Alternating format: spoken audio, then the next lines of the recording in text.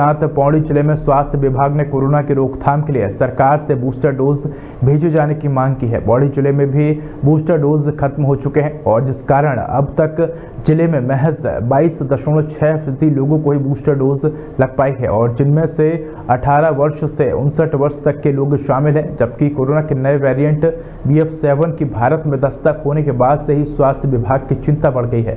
हालाँकि ज़िले में स्वास्थ्य विभाग पहली डोज का लक्ष्य शत प्रतिशत पूरा कर चुका है, जबकि दूसरी डोज भी पंचानवे फ़ीसदी लोगों को लग चुकी है। लेकिन बूस्टर और प्रिकॉशन डोज की रफ्तार धीमी नज़र आ रही है।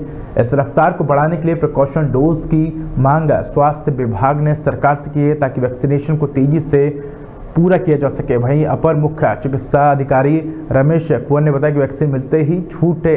लोगों को वैक्सीन लगाना शुरू कर दिया जाएगा। सभी स्वास्थ्य केंद्रों की टीम को निर्देशित किया गया है कि कोरोना के लक्षण किसी मरीज़ में नज़र आते हैं तो उसके सैंपल जाँच के लिए भेज दें। पौड़ी से मुकेश बछेती की रिपोर्ट।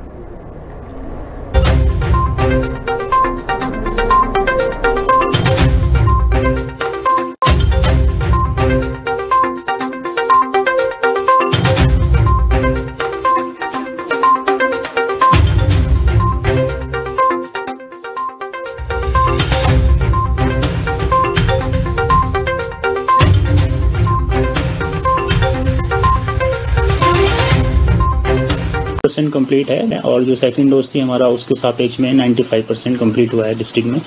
और जो बूस्टर डोज है, उसमें जो हमारे पास 18 से जो उनसाठ साल तक के जो हमारे टारगेट थे, वो थे तीन लाख छियालीस हज़ार पाँच सौ इकसठ, जिसमें से अठहत्तर हज़ार दो सौ सोलह को बूस्टर डोज लगा दी गई है, जिसका प्रतिशत बाईस पॉइंट सिक्स परसेंट है।